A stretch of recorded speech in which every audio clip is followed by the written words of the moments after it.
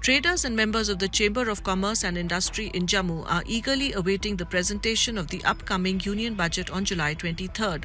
Traders say that they have high hopes that the budget will address their concerns and provide measures to support and boost business activities in the region. पहले भी दो budget आए थे budget तो अच्छे थे लेकिन उसमें व्यापारियों को कुछ खास नहीं मिला इस बार जो एनडीए सरकार बनी है मिली जुली सरकार है इस बार तो उम्मीद लगाई जा रही है क्योंकि अपोजिशन भी स्ट्रांग है अपोजिशन स्ट्रांग होने से उनको भी दस बार सोचना पड़ेगा क्योंकि इस बार जो एनडीए के इलेक्शन हुए हैं उस इलेक्शन में सबसे ज़्यादा चोट जो है किसानों ने और व्यापारियों ने दी है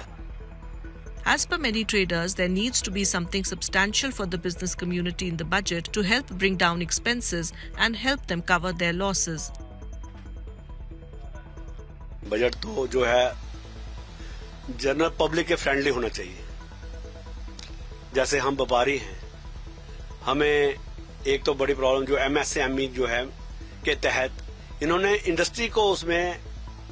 सपोर्ट किया हुआ है ट्रेडर को सपोर्ट कोई नहीं है वहाँ पे। मैं चाहूँगा कि इस बजट में एमएसएमई के द्वारा ट्रेडर को भी इन्वॉल्व किया जाए। इंट्रीम बजट तो आगे ही आ चुका है और उसमें हर सेक्टर को टच करने की कोशिश की गई है, जैसे डिफेंस है, चाहे वो एजुकेशन है, चाहे एग्रीकल्चर है। मुझे लगता है कि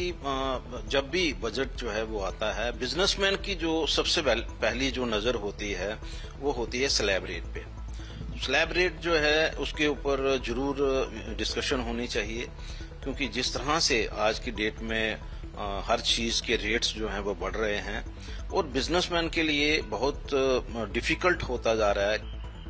The business community in Jammu hopes to see relief measures as Finance Minister Nirmala Sitharaman gets ready to present her seventh straight budget.